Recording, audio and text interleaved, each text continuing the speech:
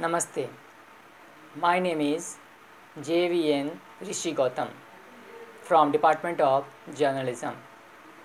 Today's topic is conduct your interview in an organized, timely manner. The purpose is to gather information to explain an idea, event, or situation in the news. Profile The focus is on an individual. A news peg often is used to justify the profile. For effective interviews, reporters prepare carefully and they ask questions that include the source to talk freely. Questions are directed at obtaining information on a theme that the reporter has in mind before beginning the interview. If a more important theme emerges, the reporter develops it. The reporter notes what is said, how it is said, and what is not said. Sources are encouraged by the reporter's gestures and facial expressions to keep talking.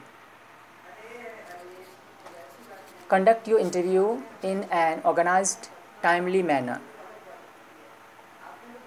During the interview, be courteous to your subject. Always take time to ask for an explanation about things you don't understand. Don't be afraid of uncomfortable silences and pauses. Let the interview take its natural course. Look the person in the eye when asking questions. Always listen carefully to the answers. Each answer could lead to more questions or include an answer to a question you haven't asked yet. Don't ask a question that has already been answered. Your subject will know you. Weren't listening and be insulted. Don't read through your questions one night after another like another like you can't wait to be finished. Conduct your interview like a conversation.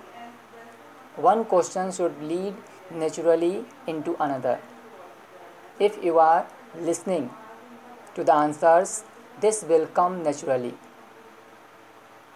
Also, take notes on what the person looked like, what the person was wearing, where, the, where he or she sat.